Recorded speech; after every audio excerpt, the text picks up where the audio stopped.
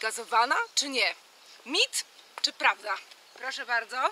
Profesor e, Piotr Socha, światowej sławy gastroenterolog, pije wodę gazowaną. No to ja też się skuszę.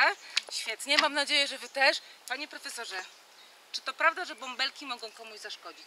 Znaczy woda e, służy pojeniu, jest to główny, e, główny napój, który powinniśmy spożywać i to czy ona jest gazowana, czy nie jest gazowana w sumie nie zmienia jej wartości jako e, najlepszego źródła płynów.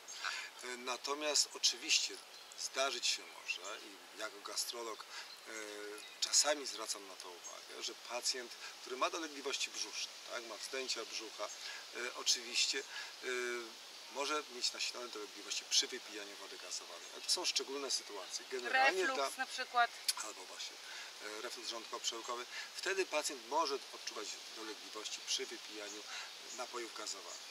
Zasadniczo u każdego innego zdrowego człowieka e, woda gazowana nie powinna wywołać dolegliwości. Czyli bąbelki są ok, to zwykły dwutlenek węgla. Tak, to znaczy nie mówimy, że woda gazowana lub niegazowana jest lepsza, po prostu promujemy wodę jako to źródło płynów, które y, jest najzdrowsze, dlatego że nie zawiera cukru, nie zawiera innych dodatków. Świetnie, bo ja bardzo często słyszę taką sytuację. Przychodzi mama do gabinetu z dzieckiem i mówi Pani dietetyk, my już żeśmy zrobili e, zmiany w swoim jadłospisie, dziecko nie pije nic gazowanego.